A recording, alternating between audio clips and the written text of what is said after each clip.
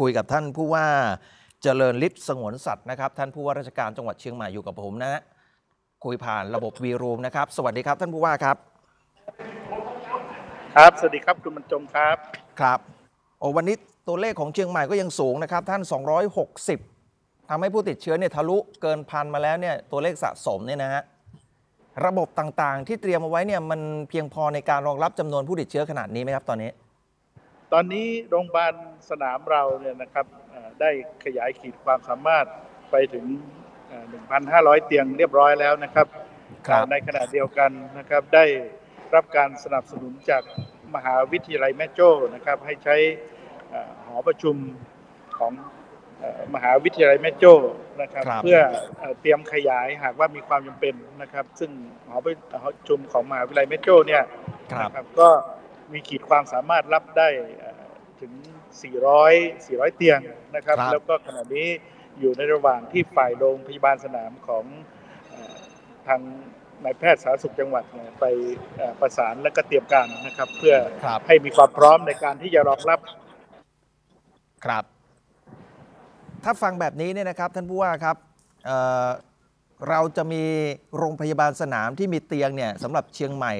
เพื่อรองรับ ระลอกนี้เนี่ยได้ทั้งหมดเนี่ยเต็มที่เนี่ยถึงกี่เตียง เราเราเตรียมพร้อมสำหรับ 2,000 เตียงนะครับ ซึ่ง2,000ขณะนี้เตียงนี่ครับนอกจากที่โรงพยาบาลสนามที่ศูนย์ประชุม ซึ่งจะรับได้ถึง 1,500 แล้วเนี่ยเรายังมีครับที่มหาวิทยาลัยเอ่อเชียงใหม่นะครับ ซึ่งขณะนี้เนี่ยขีดความสามารถเอ่อ100 เตียงแล้วก็ เราได้ร้องขอให้มหาวิทยาลัยเชียงใหม่เนี่ยขยายให้ถึงถึง 200 เตียง ในกรณีที่มีความจำเป็นนะครับ ในขณะเดียวกันก็เตรียมที่มหาวิทยาลัยแม่โจ้นะครับไว้อีก 400 เตียงนะครับ ซึ่งตัวเลขขณะนี้เนี่ยนะครับแม้แม้ว่าจะเป็น 260 นะครับแต่ว่าเป็นเป็นตัวเลขที่ค่อนข้างจะนิ่งนะครับ นิ่งและจะค่อนข้างเริ่มจะลงอยู่ในขาลงแล้วนะครับรบ ท่านผู้ว่าถ้เห็นถ้าตัวเห็นเลขบอกว่ามีคนที่รออยู่ระหว่างรอผลแลบออกอีกเยอะเหมือนกันไม่ใช่เหรอฮะเอ่อก็ก็จะอยู่ในจำนวน 260 เนี่ยนะครับ เพราะว่าเมื่อวานเนี้นะครับเราเพิ่มจุดนะครับ แล้วก็อ่าไม่มีตกค้างเอ่อไม่มีตกค้างนะครับครับไม่มีตกค้างเพราะฉะนั้นเนี่ยก็เอ่อเชื่อว่าเอ่อตอนนี้เนี่ยค่อนข้างจะครอบคลุมนะครับค่อนข้างครอบคลุมครับครับ หลักๆก็คือตอนนี้เอ่อ คนป่วยก็ไปอยู่ที่โรงพยาบาลสนามที่ศูนย์การแสดงสินค้านานาชาตินะฮะที่มีประมาณ 1,500 เตียง ชีวิตความเป็นอยู่ของผู้ป่วยที่อยู่ที่ด้านนี้นะครับมีผมดูตามกระแสโซเชียลเนี่ยบางคนก็บอกว่าก็ไม่ได้สบายอย่างที่คิด แล้วก็อาจจะต้องมีข้อจำกัดบางเรื่องที่ต้องเตรียมพร้อมสำหรับคนที่อาจจะป่วย อันนี้ท่านผู้ว่าว่ายังไงฮะ คือคือต้องอธิบายอย่างนี้นะครับครับ ว่าแน่นอนการอยู่ที่โรงพยาบาลสนามเนี่ยมันอาจจะไม่สะดวกสบายเหมือนเราอยู่ที่บ้านนะคครับรับแต่ว่าเอ่อณขณะนี้นะครับเอ่อการบริการนะครับของเจ้าที่โรงพยาบาลสนามเนี่ยนะถือว่าเอ่อค่อนข้างที่จะเอ่ออำนวยความสะดวกได้ได้ดีที่สุดนะครับสำหรับเอ่อการเป็นโรงพยาบาลสนามนะครับครับในส่วนของการเอ่อ ใช้โรงพยาบาลสนามนะครับ ก็อยากจะเรียนอย่างนี้ว่า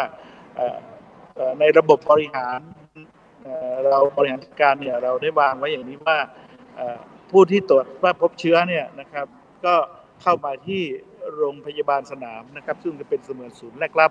เสร็จแล้วเนี่ยก็จะมีการคัดกรองออผู้ติดเชื้อที่ไม่มีอาการแข็งแรงสามารถช่วยเหลือตัวเองได้นะครับรับ เราก็จะขอให้อยู่ที่โรงพยาบาลสนามนะครับครับในขณะเดียวกันเอ่อถ้าถ้าเป็นเอ่อเอ่อผู้ติดเชื้อที่อยู่ในกลุ่มเสี่ยงนะครับ ผู้ติดเชื้อที่อยู่ในกลุ่มเสี่ยงเนี่ยนะครับเอ่อเช่นเอ่อมีโรคประจำตัวอายุมากนะครับอ่าหรือผลการเอ็กซเรย์ปอดเนี่ยมีจุดนะอันนี้จะส่งเข้าไปอยู่ที่เตียงของโรงพยาบาลปกติครับครับเพื่อการดูแลครับ ครับครับ กลุ่มที่ต้องไปอยู่โรงพยาบาลสนามที่อาการไม่หนักมากเนี่ยคือต้องเดินทางไปเองไหมหรือว่าต้องรอรถมารับ ในในในหลักการเนี่ยนะครับ ถ้าสามารถขับรถนะครับ มาเองได้คนเดียวนะครับ อันนี้เนี่ยเขาสามารถเดินทางมาด้วยตนเองได้ ซึ่งก็มีหลายรายนะครับเขาก็ขับรถมาเสร็จแล้วก็มาจอดทิ้งไว้โรงงานจอดรถของศูนย์ประชุมแห่งนี้นะครับครับเอ่อการเดินทางโดย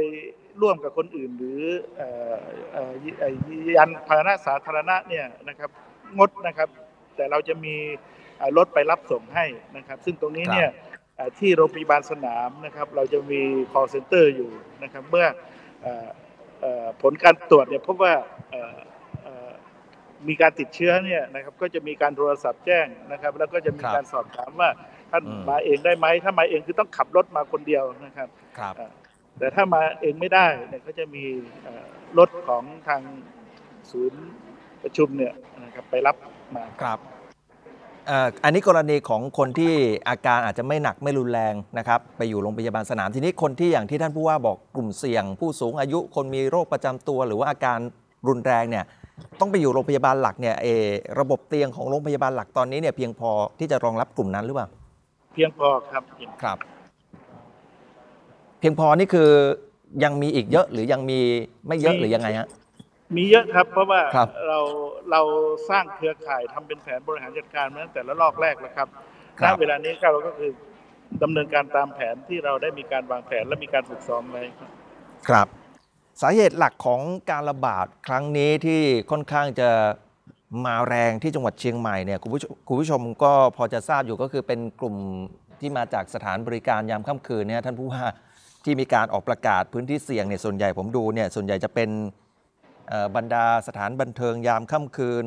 ร้านต่าง ๆ อะไรพวกเนี้ยท่านผู้ว่าฮะครับครับถูกต้องครับถูกต้องครับเออเพราะว่าเอ่อ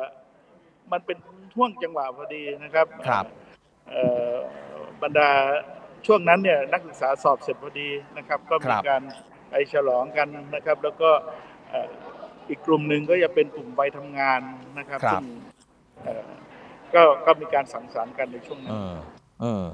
ถือว่ามาตรการช่วงช่วงที่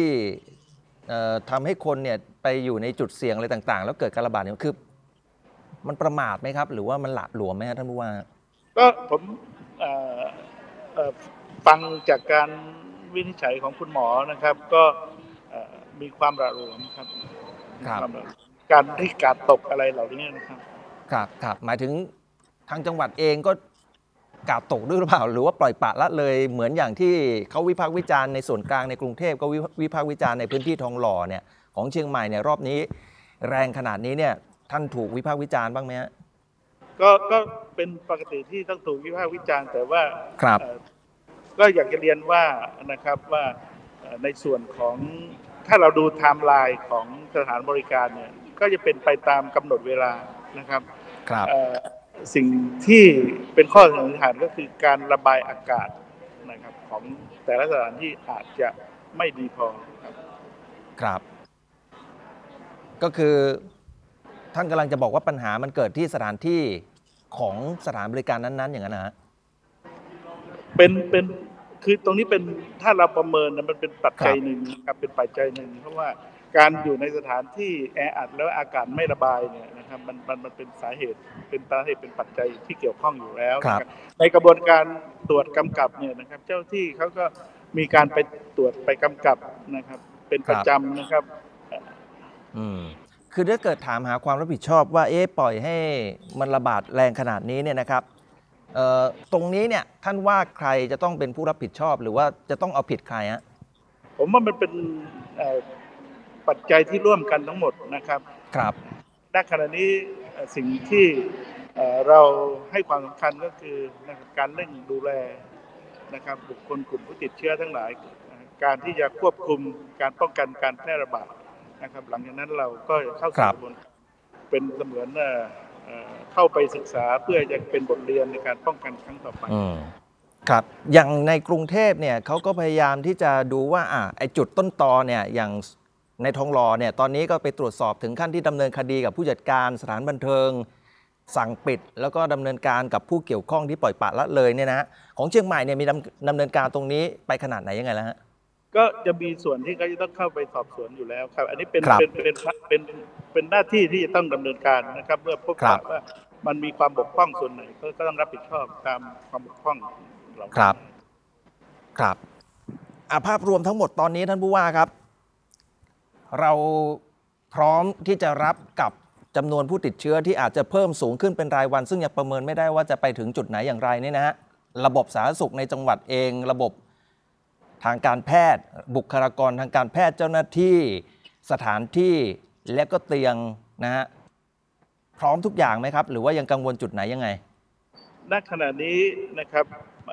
จากตัวเลขเหล่านี้เนี่ยนะครับทางทีมงานก็ยัง ประเมินว่าอยู่ในความสามารถในการบริหารจัดการครับในขครัณะบเดียวกันนะครับ ทางคุณหมอเองก็มีการประชุมนะครับครับ conference ร่วมกับส่วนกลางเป็นประจำนะครับครับเอ่อในภาคส่วนของจังหวัดนะครับ เราก็จะประสานงานส่วนที่เกี่ยวข้องทั้งหลาย เพื่อสนับสนุน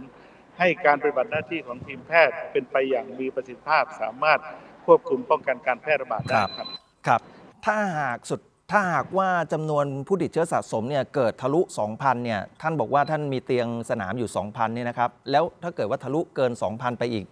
จะทำไงต่อฮะเราก็หาสถานที่เตรียมรอคงรับรับนะครับทั้งนี้ทั้งนี้เราประเมินตัวเลขเป็นประจำทุกวันนะครับ เพราะฉะนั้นครับเอ่อขอให้พี่น้องประชาชนโดยเฉพาะพี่น้องชาวจังหวัดเชียงใหม่นะครับ เชื่อมั่นครับนะเชื่อมั่นในการบริหารจัดการของเอ่อ ทีมแพทย์ทีมสาธารณสุขของเรานะครับ ในกรณีที่มันเกินขีดความสามารถในระดับของจังหวัดนะครับเราก็ร้องขอการสนับสนุนจากส่วนกลางซึ่งตรงนี้เป็นนโยบายที่ทางรัฐบาลครับหรือสบคเนี่ยเขาสเขาสนับสนุนอยู่แล้วนะครับการครับที่จะแก้ไขปัญหาทั้งหลายครับ ถึงขั้นที่ว่าท่านจะประกาศให้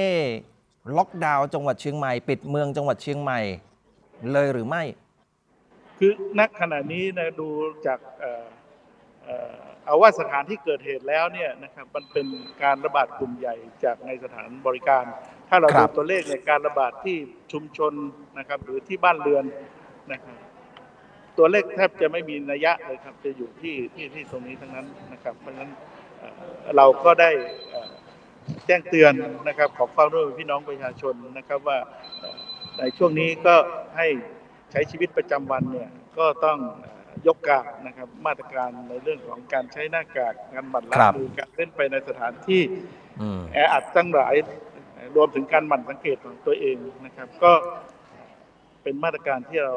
ครับขอความร่วมมือประชาสัมพันธ์ให้กับพี่น้องอ๋อประชาชนทั้งหลายในขณะเดียวกัน เราก็ได้มีการให้ทีมโควิดหมู่บ้านตำบลชุมชนเนี่ยนะครับ ซึ่งเอ่อ ได้ในรอบแรกเนี่ยได้ได้ได้ทำหน้าที่ตัวเองได้ค่อนข้างดีเนี่ยได้เข้ามาช่วยสนับสนุนอย่างนี้การแจ้งเตือนการที่จะไปพูดคุยขอร้องขอความร่วมมือจากพี่น้องประชาชนนะครับ ในขณะเดียวกันกลุ่มบุคคลที่ผ่านการตรวจแล้วติดลบนะครับ เราก็ไปขอความร่วมมือให้เขาเนี่ยยังต้องควอรันทีนตัวเองอีกให้ครบ 14 วันเพื่อให้มั่นใจว่าเขาครับปลอดโรคนี้ครับ อืม สรุปก็คือประเมินจากสถานการณ์ตอนนี้เนี่ยยังไม่ถึงท่าถึงขั้นว่าจะต้องล็อกดาวน์หรือว่าปิดเมืองเชียงใหม่ทั้งเมืองครับยังไม่ถึงแต่ขนาดเรานั้นขอร้องขอความร่วมมือจากพี่น้องประชาชนว่าในการใช้ชีวิตประจำวันนะครับ ก็เอ่อขอให้ได้เอ่อมีการดูแลตัวเองนะครับ เพื่อไม่ให้ไปแพร่แพร่เชื้อถึงตัวไม่มีเชื้อแต่ก็ต้องก็ต้องป้องกันตัวเองทั้งครับทางเข้าและทางออกอ่าเอาละครับก็ พอจะได้ข้อมูลนะครับสำหรับสถานการณ์ที่เกิดขึ้นที่จังหวัดเชียงใหม่วันนี้ขอบคุณท่านผู้ว่ามากนะครับ ที่มาให้ข้อมูลตรงนี้นะครับ ครับครับคขรัอบบคุณครับสวัสดีครับ นี่ก็คือผู้ว่าราชการจังหวัดเชียงใหม่นะครับคุณผู้ชมฮะก็ได้ให้สัมภาษณ์นะครับ ท่านเจริญฤทธิ์สงวนศักดิ์เกี่ยวกับสถานการณ์ที่เกิดขึ้นที่จังหวัดเชียงใหม่ ซึ่งก็ถือว่าค่อนข้างหนักนะครับ ตอนนี้ที่เชียงใหม่ วันนี้ตัวเลขก็ถือว่าเป็นอันดับหนึ่งของจังหวัดอื่น ๆ ทั่วทั้งประเทศเนี่ยเชียงใหม่ตอนนี้ผู้ติดเชื้อ 260 นะฮะเฉพาะวันนี้ยอดรวมเฉพาะตั้งแต่ช่วงเมษายนเป็นต้นมานี่ก็อยู่ที่พันเกือบเกือบพันสองร้อยรายแล้วนะครับ ตอนนี้ก็ต้องติดตามดูต่อ